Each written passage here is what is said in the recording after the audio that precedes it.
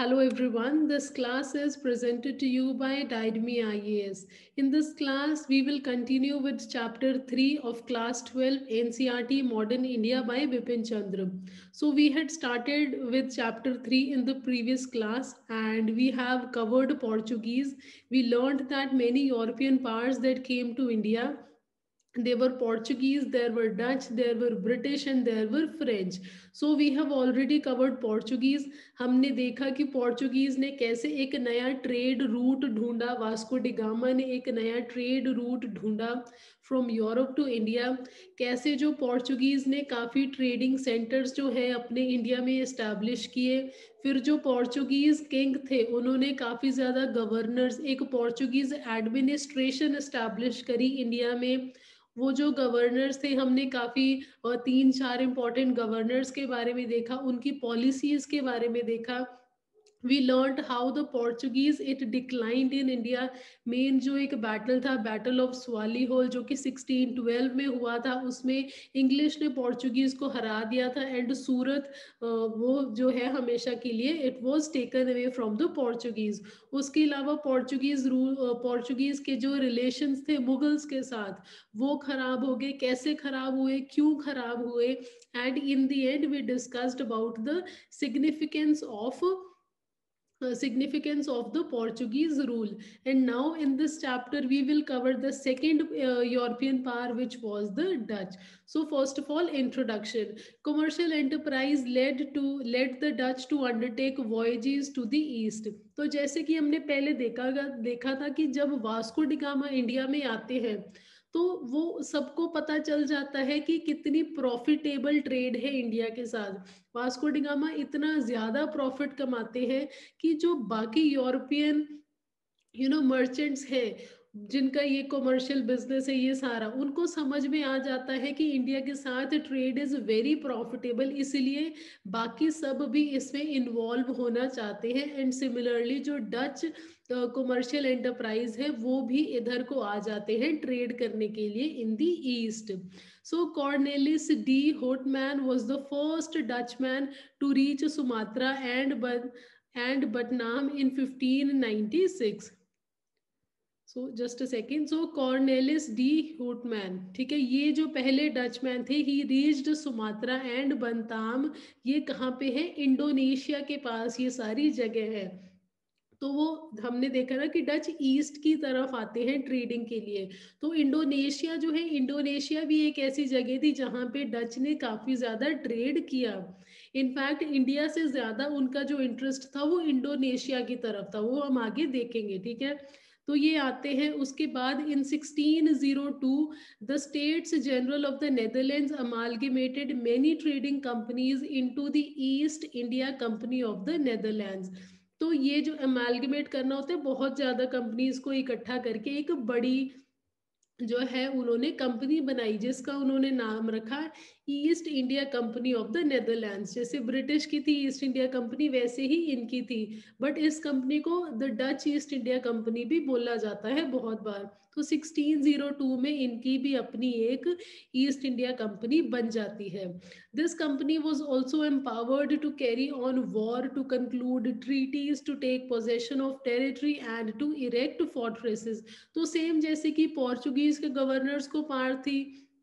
वैसे ही इस कंपनी को भी पावर्स दे दी जाती हैं कि आप जाओ ईस्ट की तरफ़, अगर कोई वॉर होता है, ठीक है वॉर भी करो, अपनी जो पोजीशन है उसको कंसोलिडेट करो ट्रीटीज कंक्लूड करो जो टेरिटरीज है उसको कब्जा करो टेरिटरीज के ऊपर जो फोर्ट्स वगैरह हैं उनको इरेक्ट करो। तो ऐसे ही एक कंपनी बना दी जाती है जिसको East India Company of the Netherlands या फिर डच ईस्ट इंडिया कंपनी कहते हैं, वो बना दी जाती है और उनको ये पावर्स दे दी जाती है कि go their trade consolidate the position of the Dutch territories को जो है ऑक्यूपाई करो फोर्ट्स वगैरह को बनाओ। तो ऐसे ही डच का भी जो है ट्रेड इधर की तरफ़ ईस्ट के साथ स्टार्ट हो जाता है। नाउ डच सेटलमेंट्स तो जैसे कि मैंने पहले बताया था कि ये जो सेटलमेंट्स है कौन कौन से इंपॉर्टेंट ट्रेडिंग एरियाज़ हैं, वो आपको याद रखने पड़ेंगे। आई होप पोर्चुगीज के आपको याद है, अगर नहीं याद है तो एक बार जो पुरानी क्लास है, उसमें जाके सारा जो है जो वीडियो है, उसमें देख लेना कि पोर्चुगीज के कौन कौन से इंपॉर्टेंट ट्रेडिंग सेटलमेंट्स थे इंडिया में। डच के जो ये डच के सेटलमेंट्स थे after their arrival in India the Dutch founded their first factory ठीक है? तो उनकी पहली फैक्ट्री कहाँ पे थी? मसूलीपट्टनम में। मसूलीपट्टनम कहाँ पे है? आंध्र प्रदेश में। कब उन्होंने ये जो फैक्ट्री है फाउंड करी? इट वाज फाउंड इन 1605 तो याद रखना डच की जो पहली फैक्ट्री है, वो मसूलीपट्टनम में थी। It was founded in sixteen zero 1605 Masulipatnam कहाँ पे है? आंध्र प्रदेश में। They captured Nagapattinam near Madras. Masulipatnam के अलावा उन्होंने नागापट्टनम को कैप्चर कर लिया, जो कि कहाँ पे है? मद्रास में।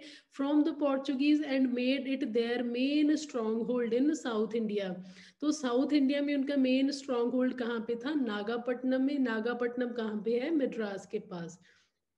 और ये जो नागापट्टनम है, ये किससे ऑक्यूपाई करते हैं? पोर्चुगीज से। Now in 1609 they opened a factory in Pulicat ठीक है, फिर इनकी एक और फैक्ट्री बनाई जाती है कहाँ पे? पुलिकट में, जो कि कहाँ पे है? Again north of Madras their other principal factories in India were at Surat Bimlipatam Karaikal Chinsura Baranagar Kasim Bazar near Murshidabad Balasore Patna Nagapattinam and Cochin तो ये इनकी बाकी जगह थी जहाँ पे इनकी फैक्ट्रीज थी। तो मोटा मोटा याद रख लेना कि इन केस क्वेश्चन आता है तो आपको वो जो जगह है वो याद रह जाए। तो ये जो सारी जगह है इंपॉर्टेंट ट्रेडिंग सेंटर्स है या फिर जहाँ पे इन्होंने फैक्ट्रीज बनाई, ये आपको याद रखनी पड़ेंगी। So this is the map यहाँ पे ब्रैकेट में जहाँ पे डी है तो वो डच की जो सेटलमेंट्स है वो है। कोचिन इज़ देयर ये रहा Pulicat see there is Masulipatnam is there तो ये है this is also the Dutch settlement तो ये जो सारी है, जहाँ पे ब्रैकेट में डी है, ये सारी डच सेटलमेंट्स थी। नाउ एंग्लो डच राइवलरी तो अभी तक हमने देख लिया कि ठीक है डच भी आते हैं, देख के कि ठीक है जो ट्रेड है, वो काफ़ी ज़्यादा प्रॉफिटेबल है तो वो भी आ जाते हैं। लेकिन जब वो यहाँ पे इस्टेब्लिश होना शुरू होते हैं तो उसी टाइम पे जो ब्रिटिश हैं उसी टाइम पे वो भी आते हैं और वो भी खुद को इस्टेब्लिश करने की कोशिश करते हैं। अब नेचुरल है कि अगर दो जो पावर्स हैं, वो किसी जगह पे खुद को इस्टेब्लिश करना चाह रही हैं, दोनों के सिमिलर इंटरेस्ट है तो राइवलरी तो बीच में होएगी ही होएगी। सो सिमिलरली डच और ब्रिटिश के बीच में काफ़ी ज़्यादा जो है राइवलरी जो है कॉन्फ्लिक्ट्स हैं, उनके बीच में वो स्टार्ट हो जाते हैं। The English were also rising at this time in in the eastern trade and this posed a serious challenge to the commercial interest of the dutch Commercial rivalry soon turned into bloody warfare. The climax of the enmity between the Dutch and the English in the east was reached at Amboina, जो कि कहाँ पे है Indonesia के पास ही in the present day Indonesia जहाँ पे क्या हुआ था कि ये जो डच थे उन्होंने कुछ पोर्चुगीज को कैप्चर कर लिया था। सॉरी सॉरी ये जो अम्बोइना जगह है, ये डच ने किन से कैप्चर करी थी? पोर्चुगीज से। यहाँ पे क्या होता है, इस जगह पे जो डच है, वो टेन इंग्लिश मैन को मिसेकर कर देते हैं और नाइन जैपनीज को भी, ठीक है? तो ये जो जगह है Amboina which is a place in present day Indonesia यहाँ पे जो डच है, वो कुछ इंग्लिश मैन और जैपनीज को मार देते हैं। तो इस वजह से इनकी जो लड़ाई है काफ़ी बढ़ जाती है, लेकिन फाइनली फिर एक कॉम्प्रोमाइज होता है 1667 में। इस कॉम्प्रोमाइज के अकॉर्डिंग ये जो डच है, वो कहते हैं कि वो इंडिया से खुद को रिटायर कर लेंगे।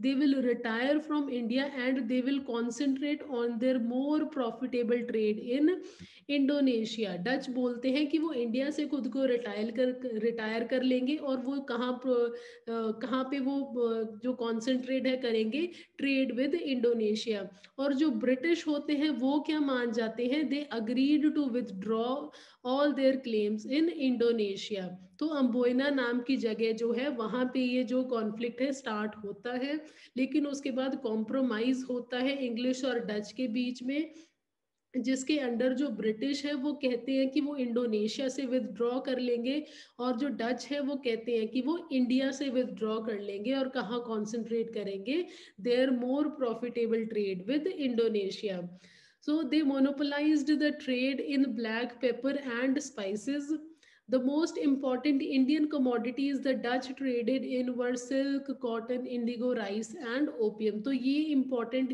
commodities थी जिसमें जो Dutch है वो trade करते थे. Now decline of the Dutch in India. So the Dutch were not much interested in empire building in India. Their concerns were trade. तो जो बाकी यूरोपियन पावर्स थी और डच इनमें ये एक सबसे बड़ा डिफरेंस था कि जो बाकी पार्ट्स थी, वो एम्पायर बिल्डिंग में भी इंटरेस्टेड थी। मतलब कि वो यहाँ पे रूल भी करना चाहती थी सेटल करना सेटल खुद को करना चाहती थी यहाँ पे। वेर एज जो डच थे, उनका जो मेन कंसर्न क्या था? देयर कंसर्न वॉज़ ट्रेड उनको सिर्फ़ ट्रेड से मतलब था। इसीलिए जो पॉलिटिकल राइवलरीज थी उनसे, उनमें, उनसे हमेशा जो डच है वो दूर रहते थे। इन चीज़ों में उनको बिल्कुल भी इंटरेस्ट नहीं था। उनका मेन इंटरेस्ट क्या था? ट्रेड इसीलिए जब वो लड़ाई होती है एंग्लो डच राइवलरी जो होती है, उसमें डच मान जाते हैं क्योंकि उनको ट्रेड से मतलब था और उनको ज़्यादा प्रॉफिट कौन सी ट्रेड से आते थे? इंडोनेशिया के साथ। इसीलिए वो मान जाते हैं कि okay we'll retire from India because their main concern was trade and profits और वो उनको इंडोनेशिया के साथ ट्रेड करने में मिल जाने थे। तो इसीलिए जो डच थे they were not much interested in empire building in India In any case, their main commercial interest lay in the Spice Islands of Indonesia, from where they earned a huge profit through business. They were defeated by the English in the Battle of Bedara.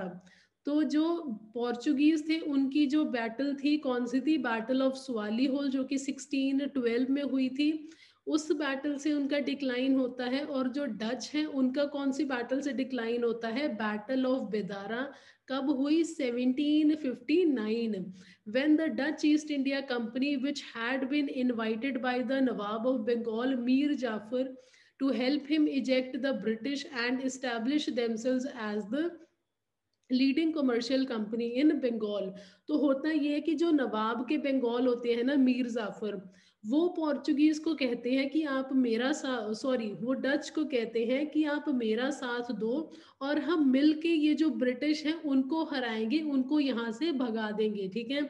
और फिर आप जो है, आप खुद को यहाँ पे एस्टेब्लिश करना। तो इस वजह से जो डच है वो इन्वॉल्व हो जाते हैं इस लड़ाई में, लेकिन फाइनली वो डिफ उनको जो है ब्रिटिश वो डिफीट कर देते हैं in the battle of Bedara in 1759 so this was all about the dutch. So i hope it is clear to you all. Thank you very much